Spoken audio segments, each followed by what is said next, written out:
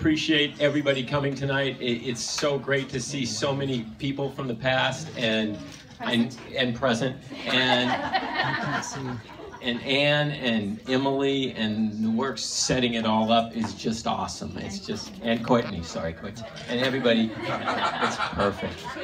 And Susie. Susie And Susie. did a lot of work. Yes. So okay. Shh, Mom. And I know this will be shocking to everybody, but my wife really likes to talk.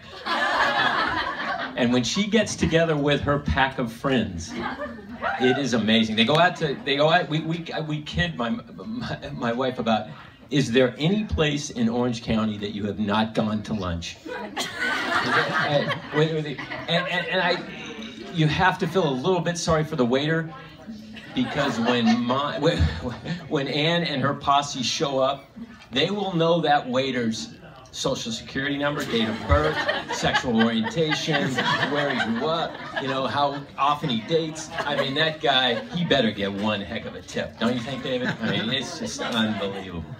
But with that said, I'm talking, I'm kidding her a little bit, but Anne's ability to communicate and embrace people around her and bring people into the fold, I think is what makes her so special. She has reached out to all of you through super good times and through super rough times. I mean, there is always uh, the ability to kind of bridge that gap, to bring people together, to have a relationship that really brings meaning to your life. I mean, I, I you know, connecting with all of you is what really does it.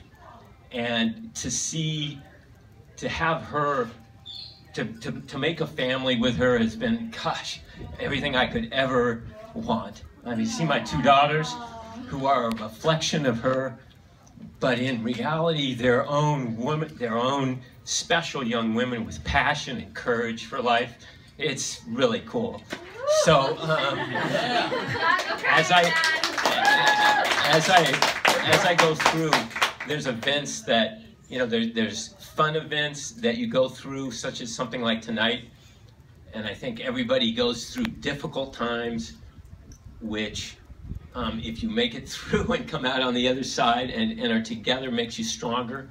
So I really feel uh, lucky to have gone through that process with my wife and with my family, and we feel stronger as we go. So I think I'll kind of end up a little bit here saying it's when I think about my wife, I think of events such as of happiness, of, uh, and I think it doesn't have to be a giant event like this. It can be a hug, it can be a call, and and what kind of through some of the darkest days with Emily, there was. I sorry to put you through a country music song, but there was a song that when came on in some of those tough times just was so to the point for me of, of what I felt about my wife and my relationship with my family.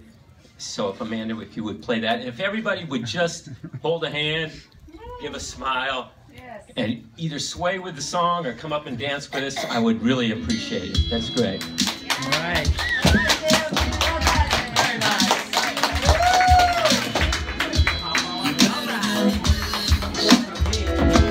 I'm lucky just